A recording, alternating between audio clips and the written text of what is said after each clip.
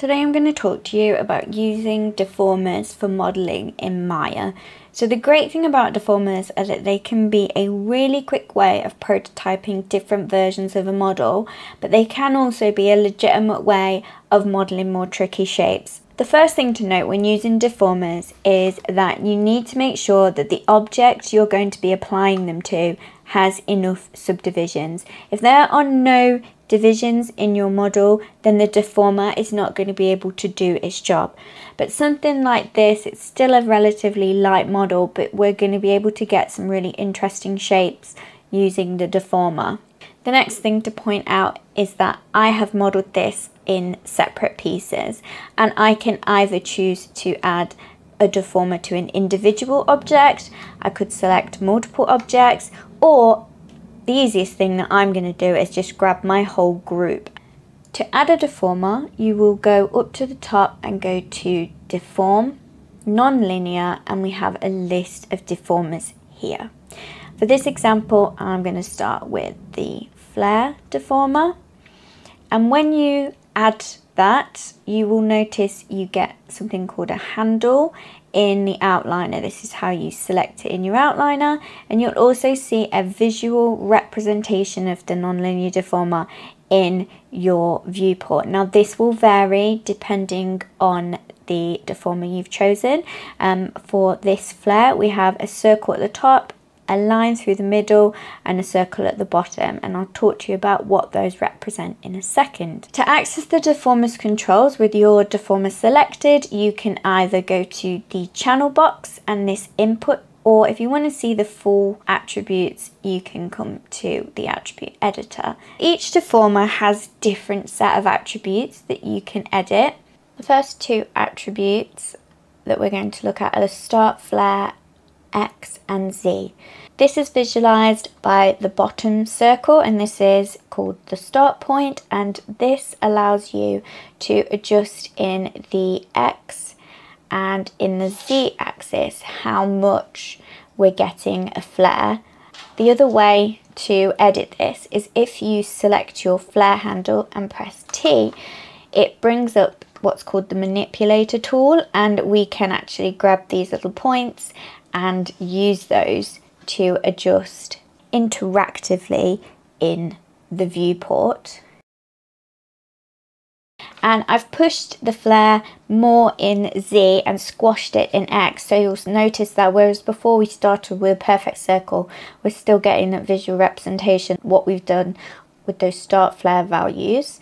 And then the end flare is the same, but for the top circle here so we can do similar thing where we can push this value here or we can push it actually in here. We can type the value in. We can do it in the channel box as well. So multiple ways to do that. If you want to get rid of this manipulator tool you don't want to use it you can just press Q and then you can also go into your move rotate or scale tool as well the next attribute is my favourite attribute, the curve attribute. It is so quick to add convex or concave curve to objects. It really does add some great stylization. You may notice that when you use the curve tool, you can notice some faceting. If your mesh is fairly low poly, so I would just press 3 and turn smooth mesh preview on and then I get some really nice curves there. The next values are the low and high bound. So these are represented by the circles. So the low bound is the bottom circle and we can push that further down and we can bring it closer in. Now what it doesn't do is affect the actual flaring of the object flaring is still the same regardless of whether it's above or below this low bound but what it does is it affects the curve so if we push them both together you'll see that we get a much tighter curve there. The next thing to look at is this attribute here so the envelope that is how much this is having an influence. So you can have set it and I've gone quite extreme and I might think actually I just want to tone it down a little bit and now I'm happier with that. And so I can just use this envelope to change the overall shape. And then we can also here see all of our geometry listed. And we can change fall offs as well I don't generally think for a beginner you need to worry too much about this but this one is really handy. This is the Manage Deform Geometry. So with this, you can either add selected geometry or you can remove it. So if I select this and go to remove selected geometry, obviously I wouldn't actually want to do that, but that has now removed it and it's gone exactly back to what it was. So let's just go and add um, that back in.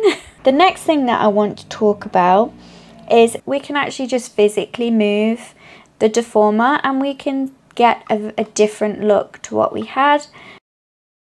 We can move it forwards and backwards. So we can very quickly just play around with not just the deformer attributes itself, but actually how you position this deformer and the same goes for all of the deformers. So let's say that we're happy with this as a new prototype and we want to save it. There's two ways you can do it. You can select your object and go to edit, delete by type history. If you do that, that's just going to remove the deformer. There is now no influence on this and your mesh has just been saved in its new shape. But if I just undo that and bring the deformer back, what I actually prefer to do is just grab my bookcase, press Ctrl D to duplicate, and I now have a version that if I go and move this deformer isn't actually affected. So we now have this version and what I would then do is just group my deformer and bookcase and hide it and save that for later just in case I want to come back and edit that at any point. That is really the basics of using a deformer. Rather than me sit and show you each deformer in turn, I think the best thing is if you go and just apply those and play around with them. But I do have some more tips for you. I think they are super important. Let's grab the next bookcase. I want to talk about layering our deformers. So let's go and add another nonlinear deformer. This is a bend deformer. We have a visualization in the viewport, which is just a line at the minute. And we have only three on here. One of them is curvature. So this curving, bending your object.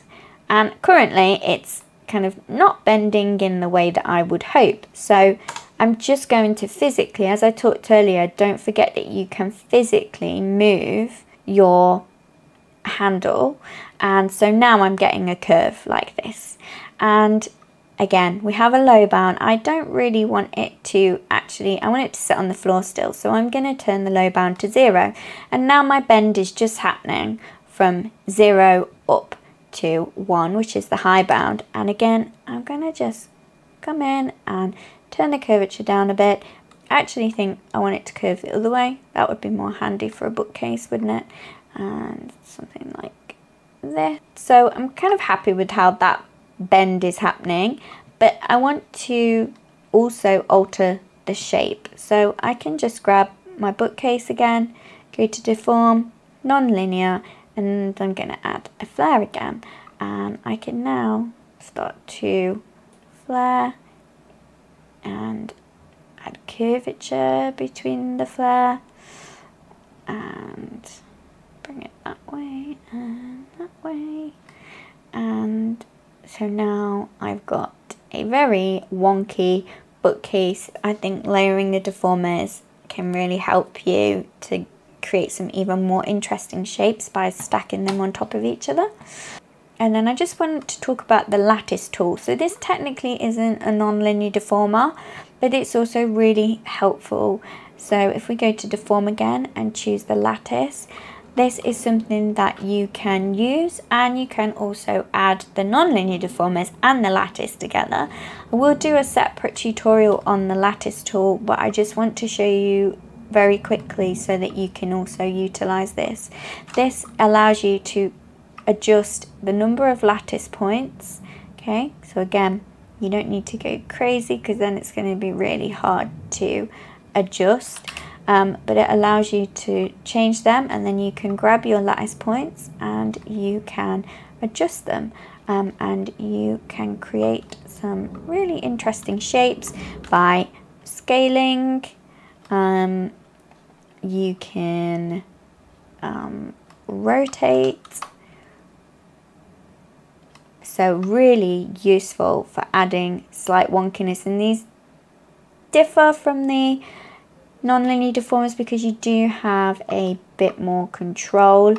So here we go. And we can very quickly create some interesting shapes. Just hidden the lattice tool so you can see a bit clearly what the shape is doing. But we've now created something once you're happy with this you can either delete the history or we can just duplicate the bookcase and have a version that is no longer being used with the lattice tool. The other thing I just want to quickly point out is that the deformers were originally created for animation so they used to not even be visible in the modeling context menu until fairly recently you used to have to go to animation to get to them. So I just want to note that everything, every attribute can be keyframed and animated and so you can also add some stylized animation using these deformers if you weren't already aware of that. Hopefully this tutorial was helpful. If you have any questions, please don't hesitate to drop them in the comments below